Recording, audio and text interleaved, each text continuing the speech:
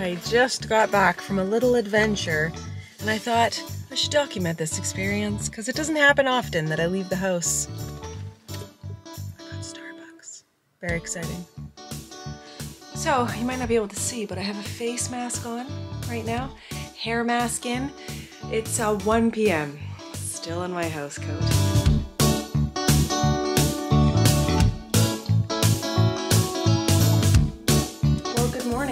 Tuesday, the day of my daughter's birth, December 8th.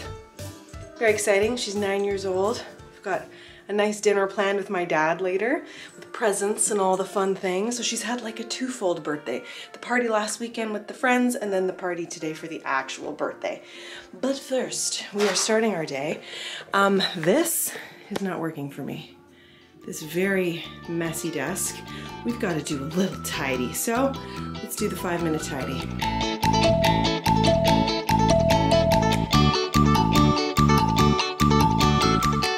Having a clean and organized workspace uh, is is paramount to my creativity because otherwise I feel very overwhelmed like it's just too much. So anyway time to start my day. I'm feeling great.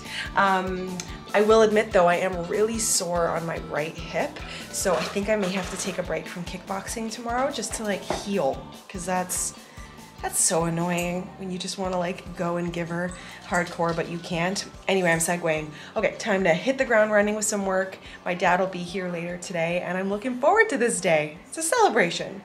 My baby is nine. Hello, hello. So I'm setting up the bed down in the basement here for my dad. Huge delivery over there. Share more about that in a little bit. But in the meantime, let's make the bed. If you hear my children in the background, it's because they've all lost their minds. It's the second break in their day for virtual learning.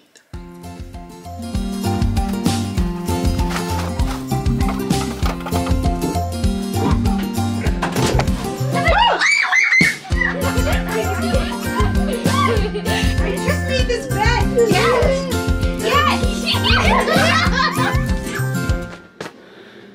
There. Good enough. All right, so now it's time for coffee. Dad will be here in about an hour, so I got a little bit more work left to do, and then uh, my day is done. And also, Time? Yes? it's my it's my sister's birthday, It is. and also there's a balloon on the top of the ceiling. There is a balloon on the ceiling. So I cut it. Big celebration tonight. Yellow. Grandpa's here, we're celebrating. Hey! Dean's cooked a fabulous dinner. Brothers and sisters. You're rocking out. Whoa. How's it going? You can't hear what I'm No, we can't. rocking out no. to, so Ooh, what got some. here. Ooh, potatoes. mashed potatoes. Dinner's coming. Esme's still on her call, so I set up a surprise birthday call with her two BFFs that actually, you probably, if you've been around for a long time, they're from our old house. It was our neighbor from our old house, and then there was a little girl that lived down the road. Those two girls happen to be cousins, and so Esme's maintained a really nice friendship with them. So they're still doing their Zoom call. It's been an hour. They're now playing Among Us, having the time of their life.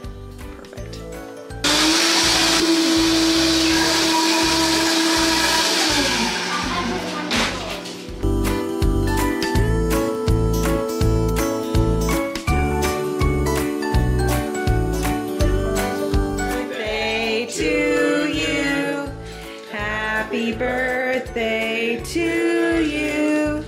Happy birthday, dear Esme. Happy birthday to you. Make a wish. Woo! From Wednesday, I think. Yeah, it is. So you might not be able to see, but I have a face mask on right now, hair mask in. It's uh, 1 p.m. Still in my house coat. I woke up this morning and realized, well, actually, pretty much last night as I was going to bed, I was chatting with my dad. And oftentimes he and I will stay up late to chat, but I was just spent and I could tell he was tired lots of family time. We played games, we celebrated, we walked, we ate cake, we did all the things you do on a birthday, right? Um, but as I went to bed last night, I felt like, you know, that tickle in your throat that's not illness related, but it's just like, hey girl, you need to go to bed. You've likely been talking too much because I spoke a ton yesterday, and you need to um, rest. You, you know when you know yourself. And that's what I was feeling last night. So honestly, I'm working today, but it's at a much slower pace. Um, thankfully, I don't have any super pressing deadlines right now or today. So I'm just taking it easy and I had a nice leisure lunch at my desk and I'm answering emails and my skin is like really um, another symptom of burnout for me is my skin starts to get blemishes really easy and it's probably twofold. One, lack of sleep. Awesome! Lack of sleep, lack of water, those kinds of things. And the other thing is when I get stressed out, I touch my face. So, so anyway, just again, what's going on, do that little check-in. I'm like, you need you need to love yourself a little bit today. So today is a no workout day. Uh, my body is a little bit sore and I'm feeling run down and my skin is a bit, you know, so face mask. I'm doing a hair mask and I'm not rushing it. It's like this is self-imposed pressures I often put on myself and like nobody is saying Amanda this is the law and this is what you need to do it's literally all me and I know that that is a side effect of who I am as a person but also of these times everything is so uncertain so I have to be able to control something and the only thing I can actually control is myself so I put a lot of um, pressure on myself to do certain things at a certain time in a certain way point is I'm letting my guard down today and it feels great.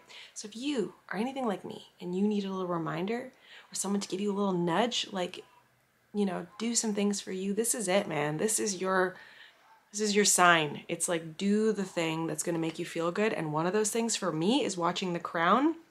I just started season 1. Oh, so good. So I'm going to sit down as this is doing its thing and uh, watch an episode of The Crown right now as I respond to emails. Living my best life living the dream. I just got back from a little adventure and I thought I should document this experience because it doesn't happen often that I leave the house. Very exciting.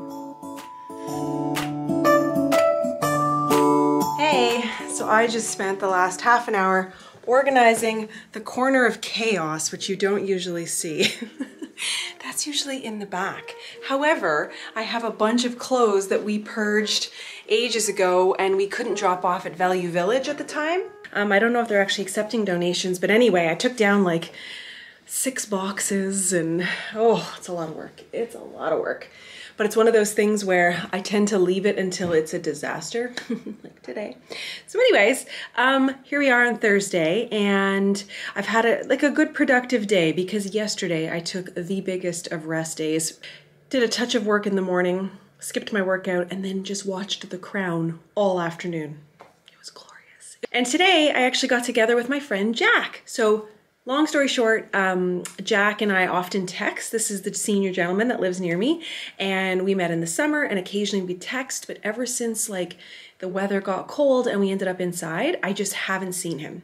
I've been really keeping my distance, being safe, but here we are in December and you know, you start getting into some of the loneliest days of the year and I thought, you know what? I could use someone to talk to. He could likely use a friend. So we chatted and I wore a mask and I brought my own drink and we sat very far apart and I like didn't use the bathroom. I like didn't go anywhere. I just sat on that one chair. Um, and it was really great to visit with him and I stayed for about an hour and, and we chatted and we chatted and it was wonderful. My intent for 2020 was really to be a better listener especially with what I do, I do a lot of this. And, um, you know, I notice like when I podcast, a great podcast is when a host listens. And so I'm trying my best to be a better host. I'm trying my best to be a better person, better friend. I don't always get it right, but it was really interesting because today I just did a whole lot of listening and it was just lovely. The stories just spilling out of him. He got quite emotional at one point. Um, and you don't know, right, how stories are going to hit you maybe it's the third time he's told it. Maybe it's the hundredth time. Maybe he hasn't told it to anybody in a long time. And i had a great message from someone online saying saying you know the trouble is as we get older our family gets a little less patient with our stories. Maybe they've heard them before. And um, you never know. Like maybe it's just a new fresh audience and it hit them a certain way. And anyway it was a lovely lovely time. And i feel honestly i feel like i got pep in my step today it was really special. It was really special time with him. It was lovely. Anyway, it's like a gift to myself, a new friendship. Good morning. Saturday. Woo hoo! On my way to get my hair cut. I'm very excited. I'm changing it. I think I'm over the blonde. So I'm gonna go talk to Courtney, which by the way, Courtney is my stylist. She's amazing. I'm gonna link her below and uh, we're gonna talk about what I wanna do and hopefully we can make it happen. We'll see.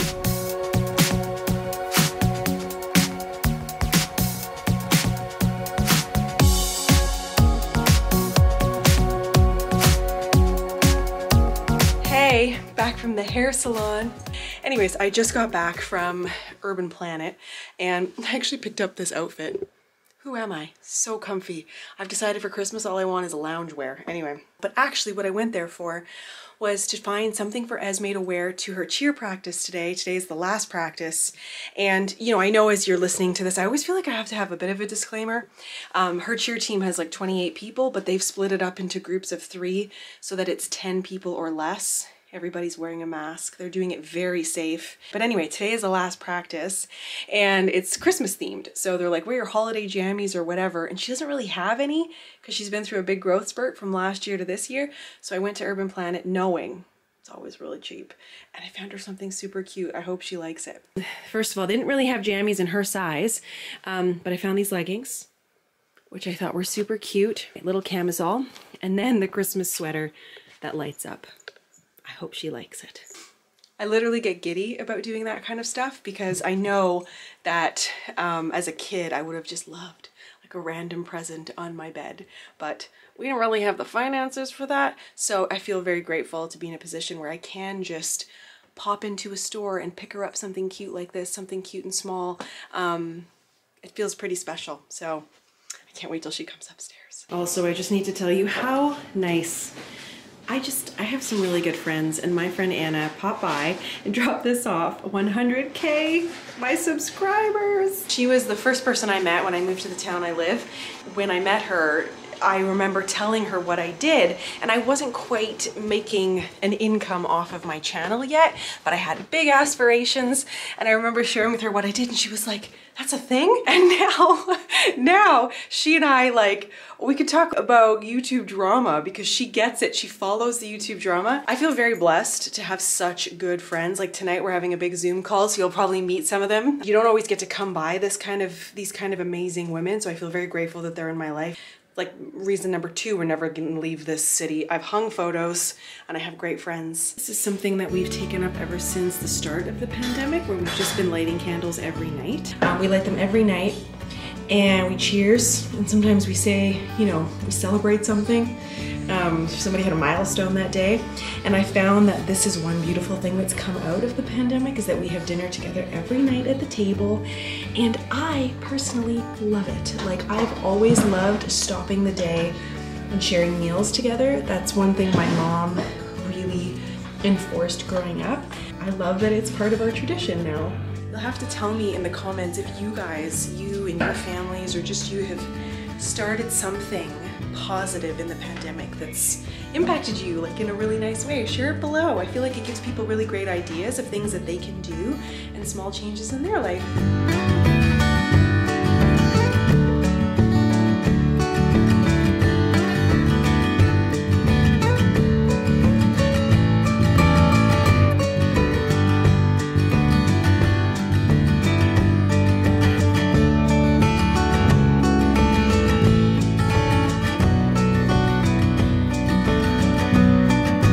ready for girls' night.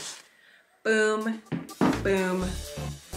They said sparkles. This is what they're getting. Because, you know, I just don't have anything sequin that I feel like wearing, so this is it. Cheers! Seven, we're gonna throw on a show of some kind. Dean and Esme went out to get some yummy little treats to nibble on. I asked for gummy worms, specifically the sour ones, and that's where we're at. So I'm gonna wrap it up for this week. Thank you for being here for another week in my life. Um, we got up to some stuff, had a little makeover. I'm still feeling it. You know, you gotta switch things up, I think. When the world is in chaos, control what you can. I'm not sure that's good advice, but we're gonna go with it. All right, guys, thank you for watching. Subscribe if you're new, and I'll catch you in my next video. Bye.